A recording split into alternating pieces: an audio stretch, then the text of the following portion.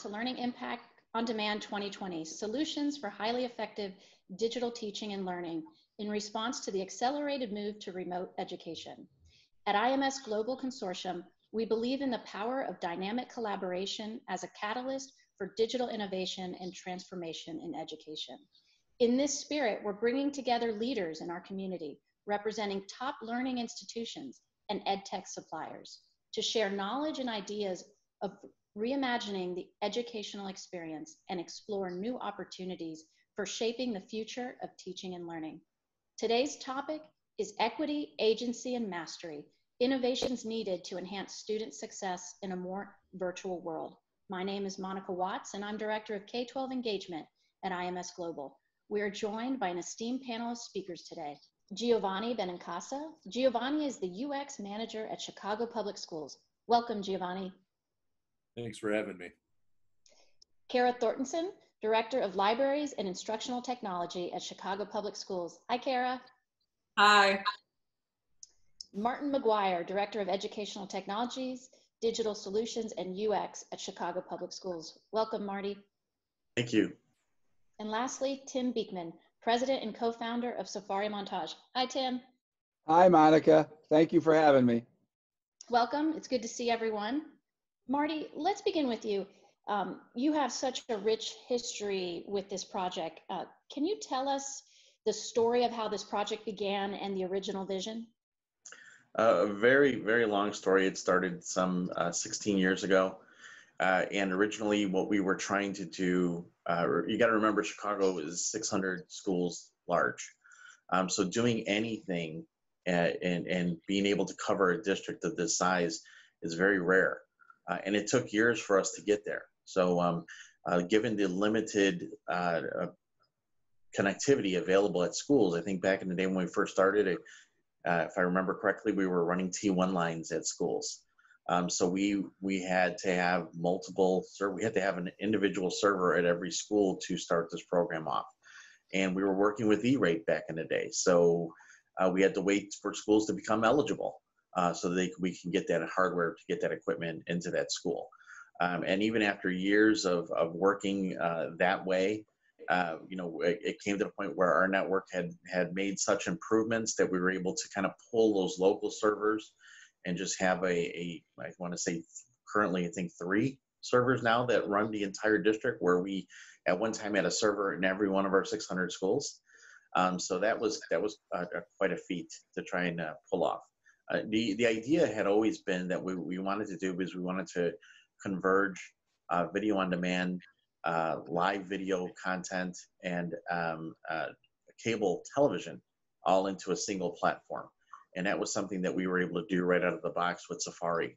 Uh, but it was getting to scale to the size of CPS that was was um, uh, always the challenge for us. And it wasn't because of the technology itself; it was because of of, of, of our technology, uh, our ability, uh, our networks, um, our buying process uh, back in the day. But now that uh, you flash forward so many years, um, we have that connectivity in every school. The challenge then became how do we get content to everybody? How do we standardize on what we're delivering via this platform? And, uh, you know, thankfully, that's when we started putting together a team. After that many years, we put together a team uh, uh that included Giovanni, that included Kara, uh, to help us actually um, build uh, the content uh, groups, the different things that we were going to be working with uh, and providing school to school, but then bringing in these vendors and working, you know, harder on being able to develop content that every school would be able to have access to. And that, that's pretty much where we are today. This is a fundamental question for our dialogue. What are the elements of the Chicago Public Schools digital ecosystem? Sure. Well, there. So we we're putting a digital ecosystem together that will allow us to um, have an equitably accessible district-wide digital curriculum for grades pre-K through 12. And in order to do so, we had to put a lot of pieces of the puzzle together. Some created from existing resources that Chicago Public Schools um, already partnered with, and some that were newly contracted with in order to create the ecosystem. So our learning objects repository, where all of our curricular content will be housed, is um, in partnership with Safari Montage. And then our learning management system, we're not really using a traditional, like full bodied learning management system. We're, um, our district uses um, G Suite for Education. So we're using Google Classroom as to support that work. And we're going to ideally see really deep integrations with Classroom and our student information system, which is Follett Aspen, which will allow teachers to um, push grades into the gradebook within Aspen and to, um, which is a feature that Google Classroom has not been able to um, facilitate for the district before. In addition, we have an assessment suite that is aligned with our curricular content and will also be aligned with our SIS, and that is um, School City by Illuminate. And then we've got, uh, and then we also have our secure SSO portal is Rapid Identity. So amidst all of these big elements of the digital ecosystem, we also have many, many digital resources, big and small, including our library automation system and all of the digital teaching and learning tools that students and teachers use every day. Right. Giovanni, uh, let's talk a little bit about the, the history of this project and why CPS pursued the Curriculum Equity Initiative. And could you also tell us about the current state of, of teaching and learning in the district? Sure. Um, those are really uh, broad questions. And um, we probably can't get to all aspects of those, but to keep it simple and really focused on thinking about that digital ecosystem and the problem that it intends to solve, while at the same time thinking about the digital curriculum and what problem it intends to solve. You really have technology diffusion, lots of people using lots of different platforms, um, a login for each, trying to corral all the data or the outputs that come from those, and then having a real wide variety from classroom to classroom, from school to school in terms of what tools are accessed, what students have access to those tools, and so forth. And the digital ecosystem is at least attempting uh, to make that a more coherent uh, learning experience with all of the positive things that you can get from having interoperable data to come from that. On the curriculum side of things, it's it's a similar issue. You have wide variety from classroom to classroom, from school to school, in terms of quality of the materials. Um, we've li- been living nicely in a standards orientated world for a decade, um, but are the learning materials as well matched to the standards? Well, that varies. You have a, a wide variety of teacher expertise. Um, you also have uh, turnover um, throughout the system. So your class assignment or where you end up becomes somewhat of a lottery ticket. And at, at that point, we want to make sure, you know, can we provide a baseline for everyone? so that all the things that we want to see happen in education, from personalization to seeing some sort of um, alignment uh, and, and, guaranteed viable access to um, the, a quality curriculum is something that we can say with confidence as opposed to hope is occurring, but really have no way to have any insight into whether that's happening or not. So, this initiative attempts to um, move towards making the situation better for both of those environments the actual user experience and the learning materials themselves. So, Kara, Giovanni mentioned um, turnover. Um, from your perspective, um, how is CPS supporting the Curriculum Equity Initiative with professional learning? Well, there's actually multiple phases of release of our content, and that's being supported by professional learning in different ways. So we are, uh, we will be releasing content early for a variety of reasons, and so that is kind of that's being rushed out to schools.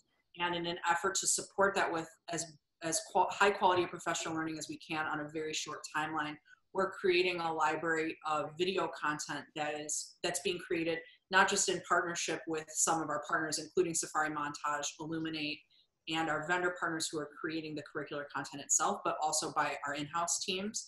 And that's going to be shared with teachers via a variety of delivery methods, both on CPS's intranet and then also um, hopefully sent out to teachers actively via um, you know, via newsletters, and we're hoping to offer a variety of synchronous and asynchronous um, professional learning access for our early release. Then over the course of the next year, as we lead up to our official full release, we have a variety of phases of professional learning that's all going to be happening simultaneously. Initially, we had a plan to um, pilot the content in schools with teachers and students directly.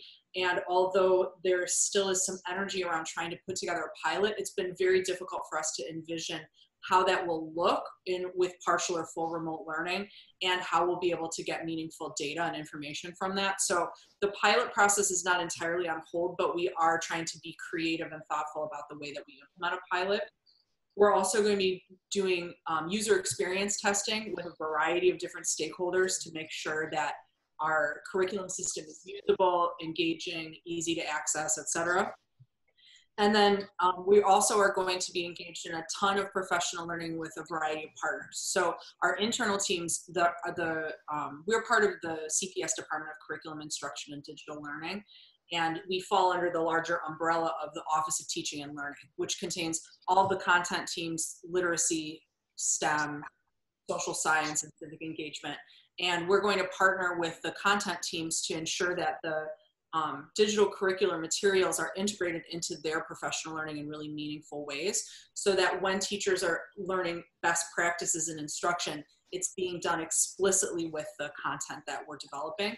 And then last but not least, we also are going to engage in a lot of meaningful, create meaningful training opportunities with all of our different partners, both as part of the digital ecosystem and our curriculum partners. And we're hoping through that we can really leverage the expertise of the partners along with the CPS specific knowledge and instructional knowledge to try to cover all of our bases and give teachers and students their best opportunity to succeed with the materials. Marty, let's talk about the learner and the student um, for a little bit. Um, how do you ensure that the curriculum will be engaging for this learner representative of your entire student population and that the curriculum will meet each student's needs? We have a variety of different content providers that we're working with. Um, we're trying to give people a, a taste of, of, of, content that's just not um, video content, but uh, interactives, live content that we could bring into the classrooms. There's a number of ways that we're trying to do that, um, uh, not just through the, the platform itself, uh, but um, through the resources that we're bringing in via that platform. Giovanni, um, anything to add? Yeah, I mean, uh, you know, the the work that we're able to do now really builds on the work that Marty's team did in bringing video and bringing virtual field trip experiences to classrooms, right? Their ability to have reach into classrooms, I think, really was um, illustrative for the district to say to themselves, this is the mechanism that we would want to deliver a curriculum. You know, gone are the days of forklifts and pallets, and here come the textbooks, and you know, there you have your learning for the next 10 years. Um, with what Marty's team was able to do through Safari was digitally deliver content that was immediately available to every student, every teacher in the system. So now to bring that communication in essentially on that channel um, allowed for us to really move the needle on a couple of things in terms of engagement. You know that that ten year old textbook is kind of dated. We have the ability to keep things updated and timely, especially uh, in the sciences uh, where these updates are instantly available. If you think about the logistics of 600 plus schools and 20,000 plus uh, teachers, you know, almost a quarter of a million students, being able to say we can move with an improvement on a course uh, and, and, to do that at a click is is really a game changer for resources, logistics, and so many things um, you know, when we think about culturally relevance, uh, cult- culturally relevant materials, um, you know, not to be crass, if you look at the icons here, are we really the people to be approximating cultural relevance from 35,000 feet? You know, uh, we've tried, let's let every teacher try to find their own way. And that has produced the problem of a lot of variability, some lowballing of students, and so forth. But when you try to standardize, you know, then you end up with a handful of people like us making decisions for other people's children. Um, what we're doing by bringing this in a digital format, it is allows us to bring in a guaranteed viable curriculum for everyone. But the important thing is the teacher's ability to customize. See, when the teacher is able to customize with a understanding of students' local needs, take, for instance, a use case in which a classroom has a wide variety of groupings of students who aren't on grade level.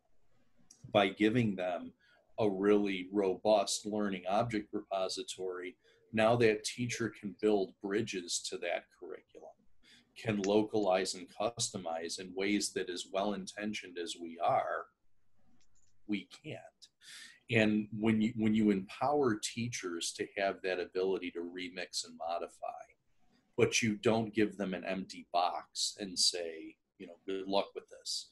You, you, you give them a baseline of solid materials that are standards aligned that are aligned to um, assessments but then you give them customizable tools within that now you're really doing something different um, you're respecting the uh, autonomy and agency of teachers who know their craft, while at the same time not burdening them to build every single thing they need out of nothing. Um, this is the best way that we can think of to bring and leverage a large district's um, buying power and ability to do things at scale while also leveraging the teacher's local understanding of their school and their students. And that really brings it all together. Can't do it without digital. And you certainly can't do that without an expert teaching force that's willing to roll up its sleeves and learn something new. And if COVID has taught us anything, where there may have been reluctance to new in the past, when there's an imperative, when you've made it clear to people what the challenge is, and what the options to solve are, um, we've seen teachers radically transform practice again out of local materials that they were comfortable with while leveraging new distance tools that they had not had a, uh, a wide scale experience with prior um, to uh, closure.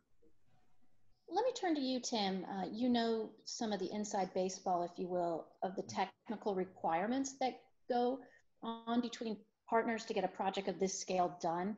So from your perspective on the technical side, what does it require to get a project of this size done working with a variety of supplier partners? You know, I, I think there's different pieces here, Monica. Number one is is obviously leadership helps to drive the technical part of this perspective.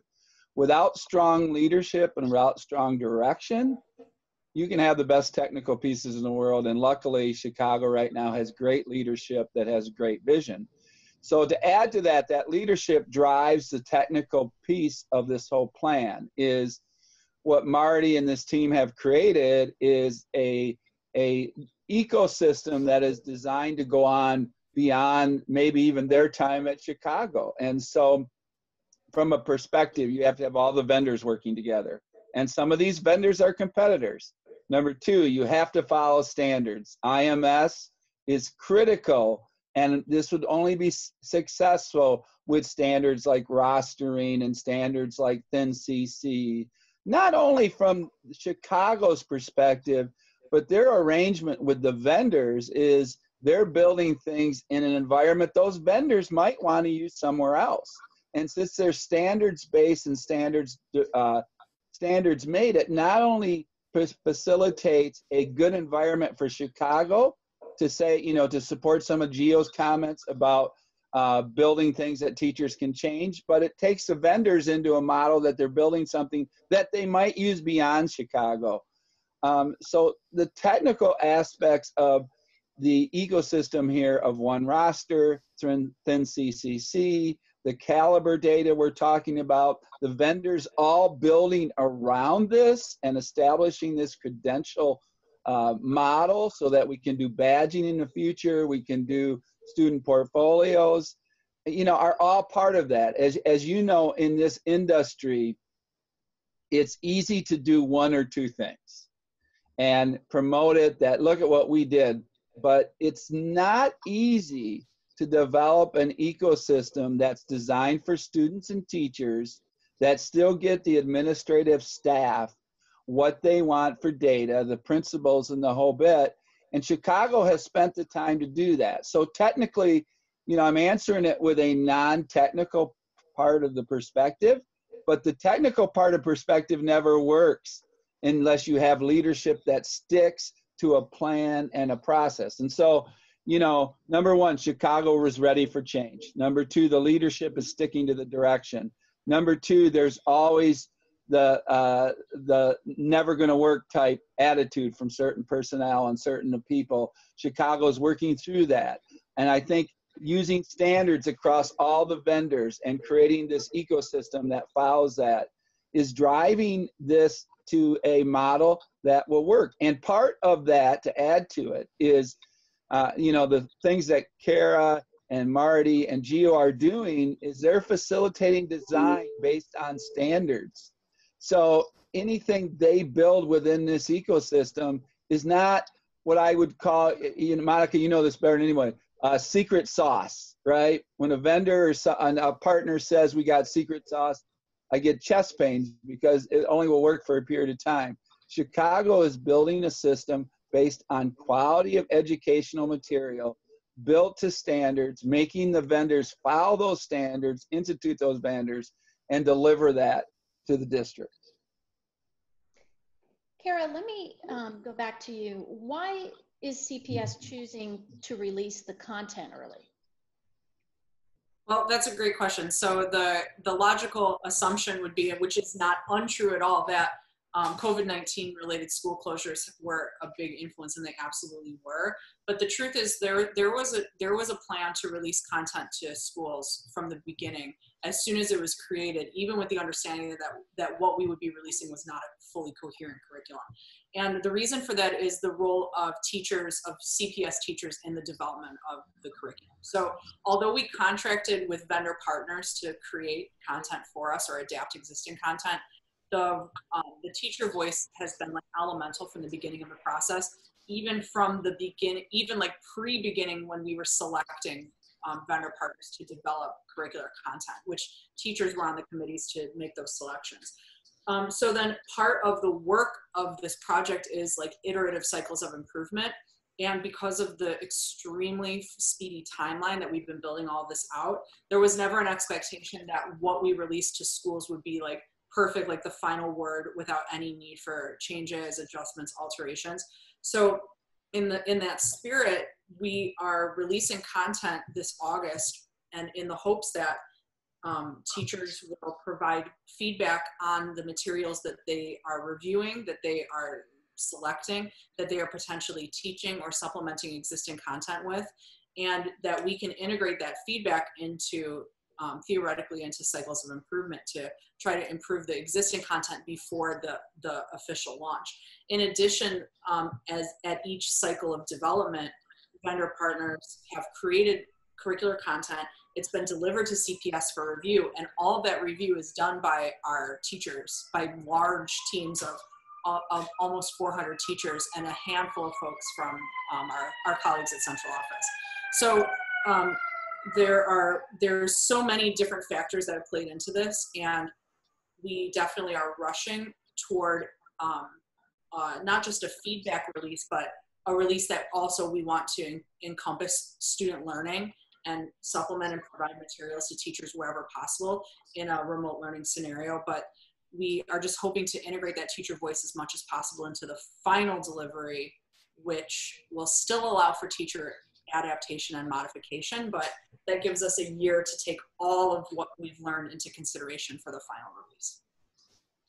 So Giovanni, uh, Kara mentions cycles of improvement. Um, what advice would you give a district embarking on a similar project um, with, let's say, maybe um, more limited resources?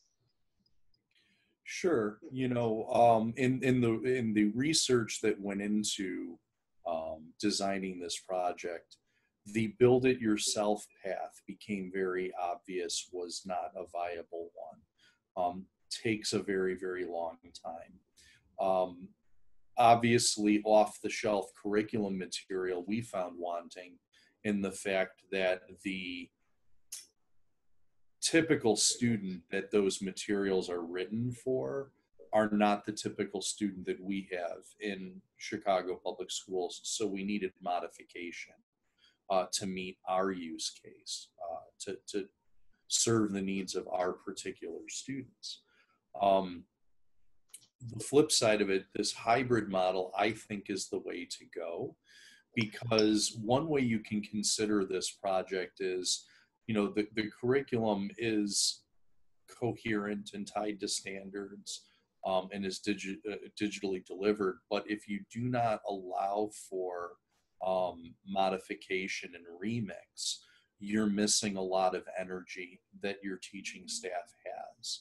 So as you can imagine teachers can be a little opinionated. And when we share our our curriculum uh, in the production cycles with our teacher reviewers, they have a lot to say about it. And not everything that they have to say can be directly and immediately acted upon by the vendor partners. Our ability to memorialize that teacher feedback gives us multiple tracks of development. So we're currently in the process with our um, vendor partners, and they're iterating the curriculum. At some point, some things that teachers are asking for that cannot be immediately acted upon need to be roadmapped for future development. And those are things that we imagine our central office curriculum designers will be able to address over time. And then the third piece is the one that I'm most excited about, and that's when teachers begin doing modifications. I really look forward to the very first time we've got the curriculum out and a teacher remixes a playlist perhaps working with a special ed teacher as a co-teacher or perhaps working with a teacher that provides language supports. And they create a couple of modifications to a lesson and then say to the district hey take a look at this. We think this is um, even better. And then we get a chance to look at it and we see that it's better and then we reshare that remix out to the district. Because that's the point in time where everything sort of converges uh, on, on what we've been planning for. You get the ability to get the benefits of what most people are after when they try to build it themselves, that it's very focused on their local needs. But we also get the benefit of getting the curriculum out to the teachers on a reasonable timeline by leveraging partnerships with large uh, curriculum vendors. And when all of that converges and you really start to see the activity, in that sense, the curriculum becomes a spark. Um, and it's the sparking aspect of giving people, again, a guaranteed viable baseline from which to innovate from. At that point, when we start, that's even more powerful than teachers just providing feedback to us. They're actually lending, um, they're lending effort and design at that point. and as these wheels begin to turn more quickly, and your professional development is sparking teachers to think about their practice in different ways. And then because they're thinking about their practice, they start innovating with the materials in different ways. And then they begin sharing those out. You start to get a lot of energy, a lot of activity, and a curriculum that's truly a living curriculum, something that iterates on a reasonable time frame. So with my last question, I'll, um, going to start with Marty, but I open this to all of the panelists. What can we look forward to seeing in the fall of 2020 with regards to the Curriculum Equity Initiative? Wow. Well, I think um, you know what I'm looking forward to is just is, is the rollout, the adoption by teachers. I think this um, this COVID scare that we've had uh, has really uh, really brought out some some superstars in the district um, uh, that have um, started doing remote learning and and have found that it's not as, as scary as they may have thought. Um, so I, am really looking forward to that. I'm looking forward to, as Gio just mentioned, having teachers take that curriculum, maybe modify it to better fit their needs.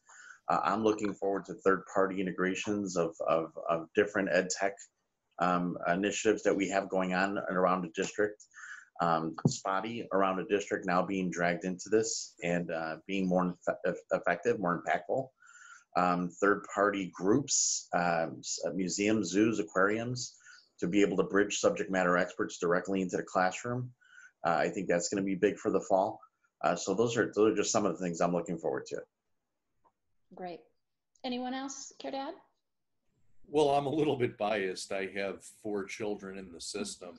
so I'm actually looking forward to seeing these materials in their hands. Um, I've I've had these cell phone pictures of the teacher's math book shared through Google Classroom for which it needed to be printed and then filled out and then scanned and then sent back to the teacher. So uh, certainly um, I'm I'm definitely excited about what these opportunities are actually going to be bringing to my actual children. So I'm, I'm definitely excited to see uh, how it looks in their hands. Great. I think we're all very excited to see that. So thank you. Thank you to our panelists uh, for being leaders and innovators regarding this very important dialogue. Um, we've been thrilled to have you join us today. Thank you very much.